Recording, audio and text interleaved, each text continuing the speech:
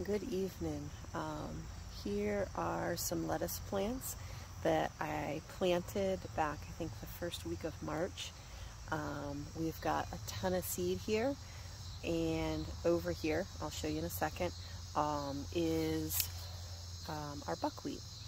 Um, I plant this as a cover crop. I planted it roughly a month ago, just about a, a little over a month ago. Um, I want to cut this before it goes to seed. Um, and so I'm just going to cut these off and drop them as mulch and sprinkle a little bit of lettuce seed um, where I'm cutting these off and start the fall garden. So back when I planted these, um, it was I think about the 25th of June. Um, I spread some compost. So there's some lovely compost that has now been sitting there. Um, so what the, the buckwheat does is it pulls nutrients from the soil um, and then gives you something that you can drop right here and it, the, those nutrients that pulled out of the soil go right back in. Um, but these nice broad leaves, they shade out the weeds.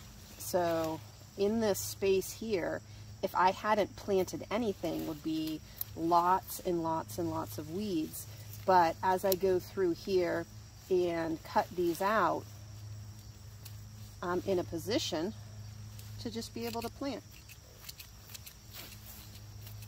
Now, if I was just planting like some starts, some plants that I'd started, um, I would drop these around as mulch. Um, as it is right now, I'm going to set them somewhere else just because I want to give space for the lettuce seeds to come up.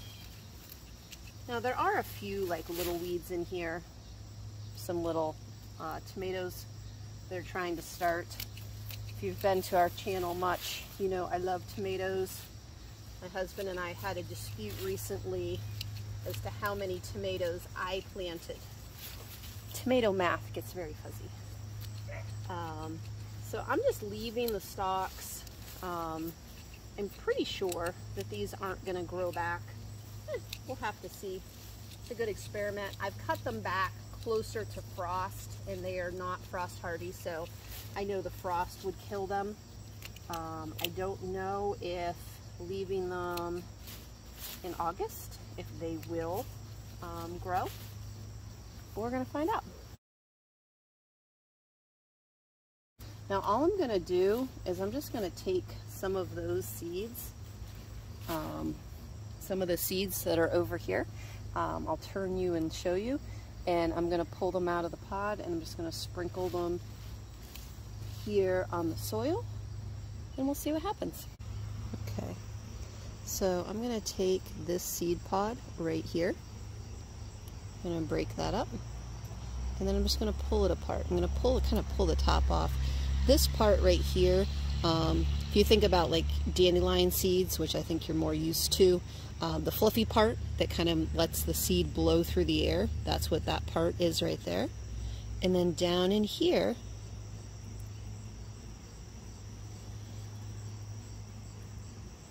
are my lettuce seeds. So that's just one little pod there. I'll provide I'm already dropping some. So minimum I would say a dozen to 20 seeds in that one little pod. And so I'm just dropping those right next to just where we were. Um, and then even some of the ones that are a little more broken open, like that one right there, that one is getting ready to drop right there. So again, look at all those seeds. That was just in two pods. Think of the amount of seeds just in one plant and the amount of seeds that are one, two, three, four, five, six, seven, eight. So this right here is enough lettuce seed to probably keep my entire neighborhood in lettuce seed for a very, very long time. Um, so some of that, like I said, I'm just going to sprinkle here and let it grow. And some of it I'm going to take inside and store for next year. So I've got a bunch of seed pods here. Um, so this is the other side of the kale. Um, same deal over here. Um, I planted buckwheat. Um, now something interesting, when you plant something in multiple places in the garden, um, we'll take one of these. I'll take one of the bigger ones and I'm going to go over to where I planted the buckwheat um, in the garlic batter. Now this has been in far longer than that has. Oops, I found an ant hill. They're butting my feet. Um, there's ants right there. They were not impressed that I was sitting on them. Um, so again, um, as I was saying before I got attacked by the little ants, um, it's interesting when you plant stuff multiple places in the garden. Um, so I said, we'll take one of these. You guys get, stop biting me. There. We'll uncover their eggs so they're more concerned with moving the eggs than biting my foot. We'll see how that helps. All right. Um, so when you plant something in multiple places in the garden, you can compare how it's growing. This has been in longer by two, two, three weeks um, than the buckwheat that's over in our garlic bed. This has a smaller leaf and is considerably shorter than that over there, like I said. We'll compare. Here, I'll cut this one right here, all the way at the base. I'll set this aside to go over. I could be more methodical about this, but it's not really my nature. If I had my husband out here, it would be much more methodical. It's how he rolls. It's not how I roll. We pick each on each other on that very often. So this is where we had our garlic planted for the past two years. I've been, um, this is the second year I planted buckwheat after we harvested our garlic. Um, now, last year it was smaller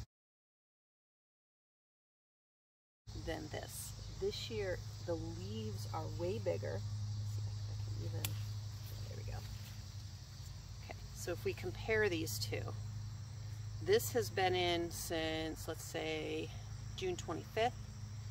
This has been in, I think, second week of July. I can check the date and put it on the screen. Um, but look at the size difference. Um, look at the difference in the stem and the size of the leaf. So I feel like this is telling me something we're doing in this realm right here is, is good. Now, to be fair, this bed over here um, gets competition from our maple tree that's inside our fenced in backyard. Um, the branches come over top of that bed. the branches come over that bed, the roots are underneath. So there is competition here. Um, but just in general, these are way bigger than last year. Um, and I don't think the conditions are that much different. I did the same thing last year. I did a bucket of compost, planted the buckwheat. When I was ready to plant garlic, cut it, dropped it as the mulch, and then planted the garlic. We're heading in the right direction. Something is going right here if the plant is this much bigger this year than last. Today, there was beneficials all over these blossoms. And also, side note, I made a couple flower floral arrangements with like these and whatever wildflowers I had around. They were beautiful. So, don't need fancy flowers to have beautiful flower arrangements. Um, this year, this year's garden year is going absolutely wonderful so far. Um, get a view of the garden behind me as I move in here. I think we've harvested at least 50 pounds of tomatoes we have, I think, 12 and a half quarts canned um, of just, we just do unseasoned tomato sauce. That way it can go any direction. I actually have a video I'm working on. I'm not sure which one's going to get published first, so either I just published it or that's the next one that's coming. We'll see. Um, we've harvested probably around between 30 and 40 pounds of cucumbers that we've eaten as just like fresh salad or we've fermented and we've pickled. Um, so that's going unbelievably. The wall of beans behind me, I can't even imagine how much we're going to get from this. Last year we got roughly 10 pounds of cave beans. Um, they're a dried bean.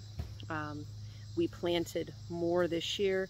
We had the trellis set up better, so I'm hoping for more than 10 pounds.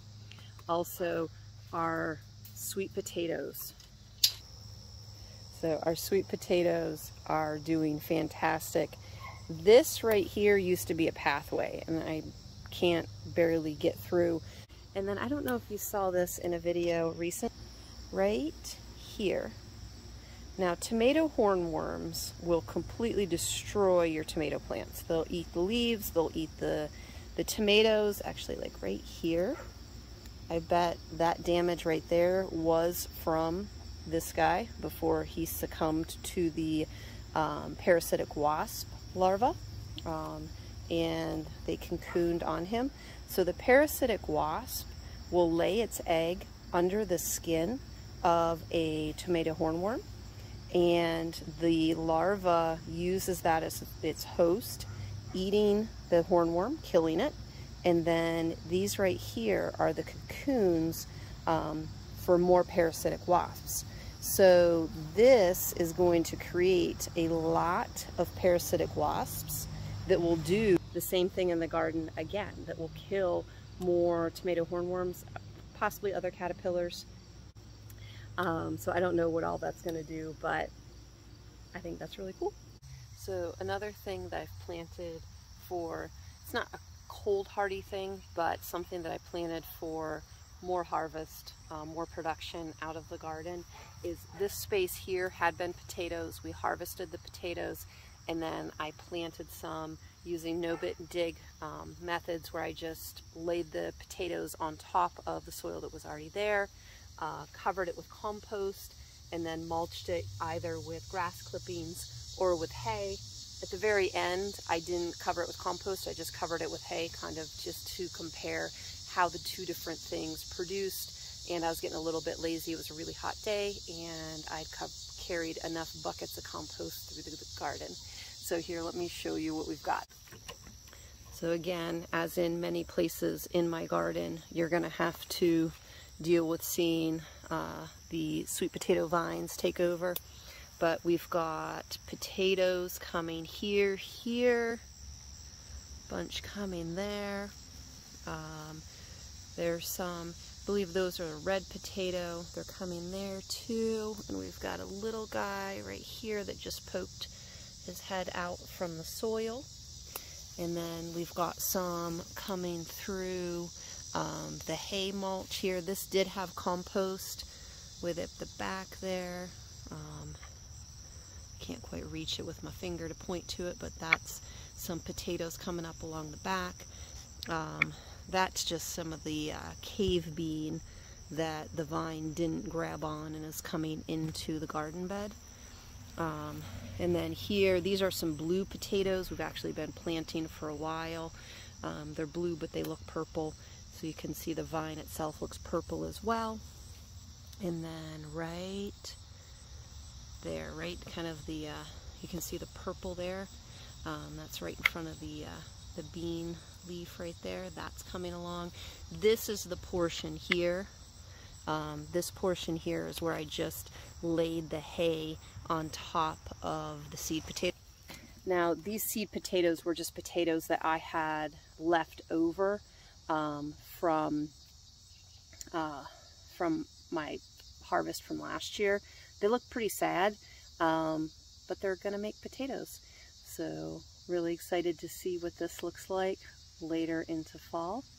Um, and the garden is coming along beautifully. I'm enjoying sharing the growing and the harvesting and the processing with all of you thank you for those that are coming along for the ride and kind of watching what we're doing and, and sharing your ideas and your thoughts. I really do appreciate it. Uh, thank you for joining me tonight, and we'll see you in the next video soon.